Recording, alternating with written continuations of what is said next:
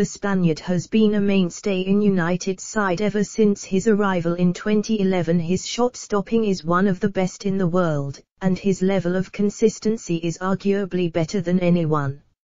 And with the ex-Atletico Madrid goalkeeper ahead of Dean Henderson in the pecking order, there appears to be only one call to make in the goalkeeping department. Defense, Wan-Bissaka, Maguire, Bailly, Shaw. United's downfall this season has been their defence Aaron Wan-Bissaka and Harry Maguire have yet to prove they are worth the combined £130 million paid for them with horrific performances so far.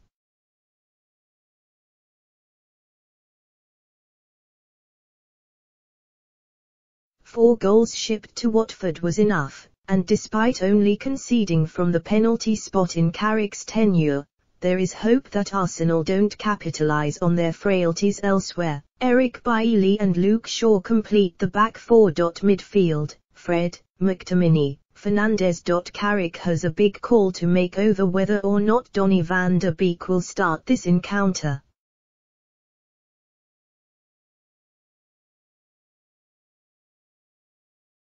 The Dutchman was given the nod against Villarreal, but was then dropped to the bench for the draw with Chelsea. It seems likely that he will once again be a substitute against the Gunners. Attack, Sancho.